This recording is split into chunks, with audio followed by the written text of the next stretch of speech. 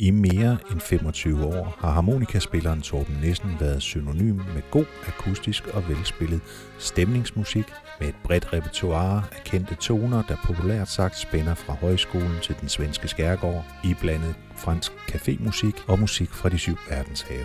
Under overskriften Markedsmusik er harmonikaspilleren med til at skabe den helt rigtige og autentiske stemning på loppemarkedet, på messen, på Fortorvscaféen, i gågaden, på havnen og mange andre steder.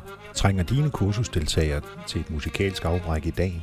Eller skal din skoleklasse eller børnehavegruppe på opdagelse i oldemors tid, kommer harmonikaspilleren gerne og laver gammeldans med jer. Du kan også bruge harmonikaspilleren som musikalsk overraskelse til børnefødselsdagen, til brylluppet, kover, sølv, guld, diamant eller krondiamant brylluppet, på den runde fødselsdag, på sejlturen eller på firmaskovturen. Kontakt harmonikaspilleren på harmonikaspilleren